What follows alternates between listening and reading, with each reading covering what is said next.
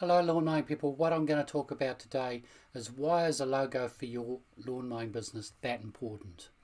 Now logos are actually an essential part of any brand identity. If you're thinking about getting a logo you should ask yourself these questions. Do you want to grow a good sized lawn mowing business? Do you want better results for less money when you advertise? Do you want people on the street to remember your business so they can find you when they need you? These are all benefits that come with having a logo because people will see your logo around. As you're out and about in town, people will see your logo while they're passing. Now, it's all about defining your brand. Now, you may think that defining your brand is not an important part of having a lawn mowing business. I mean, brands are just for big businesses, aren't they? Well, no, they're not. Brands are for any business that wants to be recognized. And branding, branding might sound like a strange word to associate with lawn mowing, but all companies need branding. Branding has been around for hundreds of years, and the principle hasn't changed a lot. What happened was people used to take their cattle and they used to put brands on their cattle, and they didn't want to stamp their name across the animal because that, well, for a lot of reasons actually, but it's so what they did is they just came up with a simple design and they used that design and it was called a brand. And a brand now isn't much different from a brand then. A brand is a design that you use to represent your business. And your brand should be on absolutely everything from your business cards to your posts on social media to your vehicle. What it's actually doing is it's improving recognition. So when people start seeing your logo all over town, They'll remember you who you are when they need somebody to mow their lawns.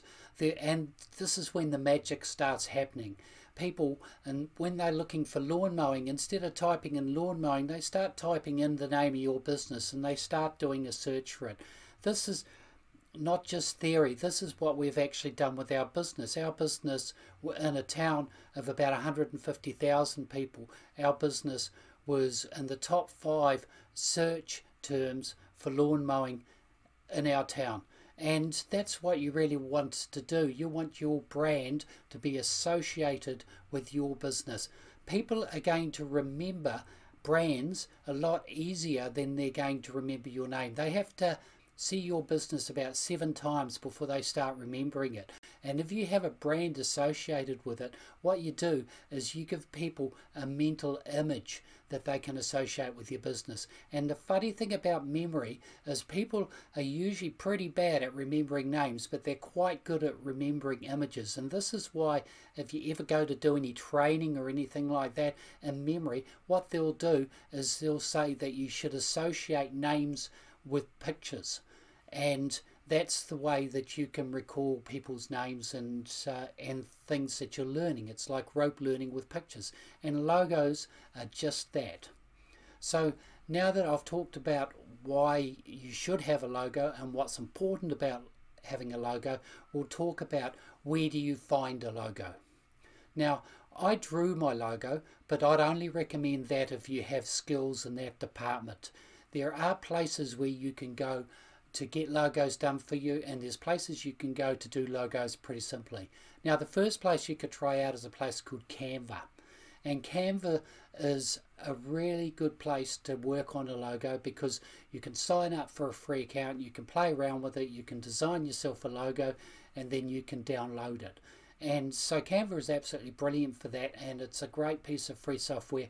And if you are going to pay for it, it's not expensive. It's about 20 bucks a month and you can use it to do all your social media posts and everything like that. So it is actually a really handy piece of kit. And then you've got uh, places like Fiverr. Now, Fiverr I've always found is a little bit hit and miss. Sometimes with Fiverr you'll get somebody that's really good. Sometimes you'll get something that's truly awful. I think what you need to do is you need to pay attention to the reviews that the person has got and go with somebody who's got good reviews. Because another thing that you don't want to do is you don't want to go to Fiverr and have somebody give you exactly the same brand they've designed for somebody else just with your name on it. You want it to be original. And so if you're going to pay money, good money for your logo and you're going to get it done on Fiverr, make sure that you're getting the real McCoy. Now, if you're not opposed to spending a bit of money on your logo, you could try a place called 99 Designs.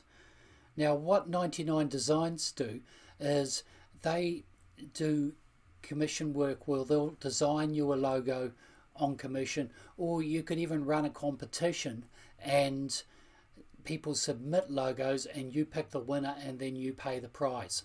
And so it's a really, really good way of getting your logo designed, and you can actually get some really, really good quality logos through that site.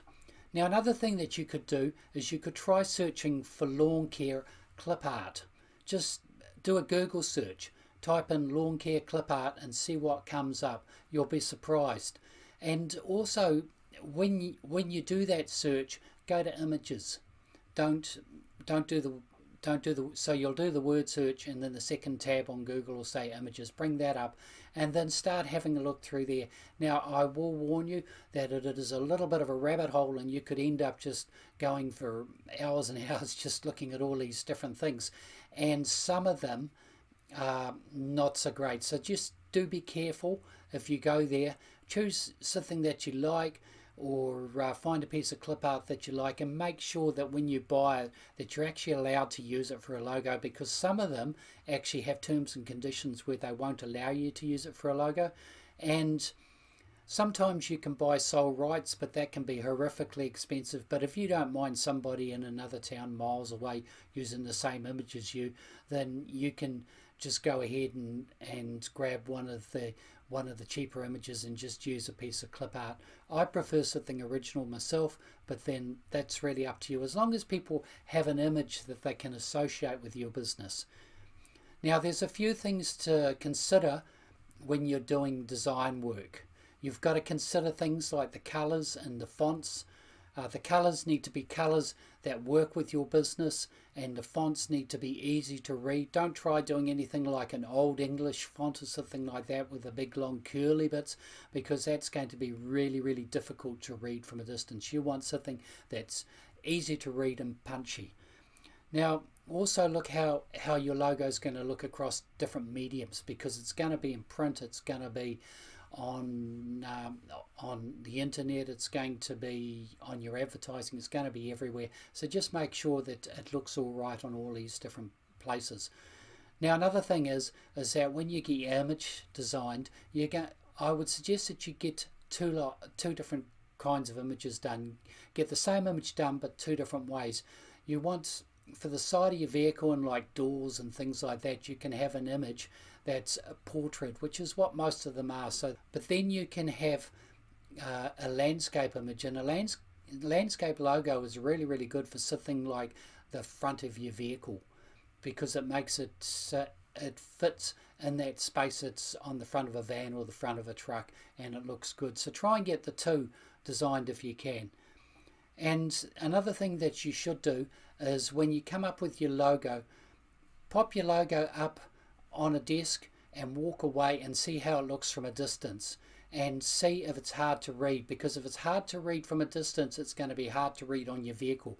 You want a logo that's easy to see and that people can just look at and they know instantly what you do now as far as taglines goes i've talked about taglines in other places and basically taglines are just things that give people a little bit more information about your business they can be um, and information that talks about your quality of work. They can be information that talks about a keyword like lawn mowing, or if you haven't got the word lawn in the name of your business, you can use it in your tagline.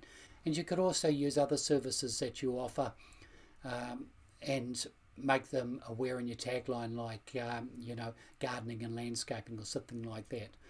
So I definitely think it's a good idea to invest in logo design because logo design is going to make your business memorable and having a memorable business is going to bring you in more customers and it's going to bring them in cheaper and it's going to cost you less to advertise if you're using a decent logo. And that's all I've got to say about logos so get out there, mow lawns, have fun and happy lawn mowing people.